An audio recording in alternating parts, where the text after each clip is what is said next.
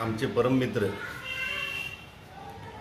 सुरेश अण्णा पाटील गेले तीस वर्ष हे ज्येष्ठ नगरसेवक आहेत सोलापूर महानगरपालिकेतले. गेल्या चार पाच दिवसापूर्वी त्यांच्या प्रभागामध्ये एक घटना घडली. त्या घटनेत त्यांचा कुठलाही हात नसताना सुद्धा काल सभागृहात जे वातावरण निर्मिती केलं गेलं सुरेश अण्णाच्या विरुद्ध त्यांचा पक्ष मित्र पक्ष पक्षातले पक्ष सगळ्या गटाची लोक जी एकत्र येऊन आणि भारतीय जनता पार्टीचा महापौर असताना त्याच्यावर जी निलंबनची कारवाई केली अण्णाचे आमचे संबंध राजकीयपेक्षा कौटुंबिक आहेत. आणि अण्णा काल सभागृहात एकाकी सगळ्याशी लढले असं जे वातावरण गेलेलं आहे. पण अण्णा एकाकी नाहीत त्यांच्या विचाराला ते ठाम आहेत.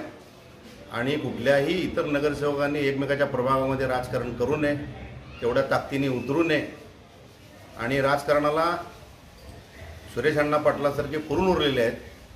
आणि शिवसेना जिल्हाप्रमुख या नात्याने सांगतो की त्यांची कुठलीही चूक नसताना काल त्यांच्या सभागृहात जी वागणूक मिळाली ती बघून आम्हाला निश्चित वाईट वाटलेलं आहे. त्यांचं निलंबित होणं त्यानंतर पेढे वाटणं त्यानंतर जल्लोष करणं. पण मी सांगतो की सुरेश अण्णा पाटलाबरोबर मी शिवसेना जिल्हाप्रमुख नाही तर तमाम शिवसैनिक आम्ही त्यांच्यावर ठाम आहोत.